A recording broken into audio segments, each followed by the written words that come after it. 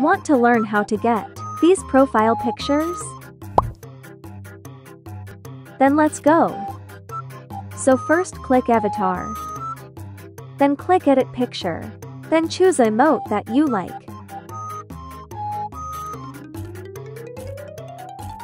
Click next when you are done. Now you can position your camera.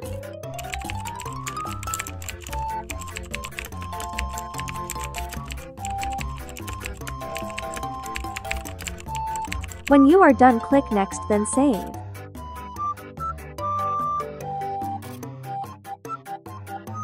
You are done.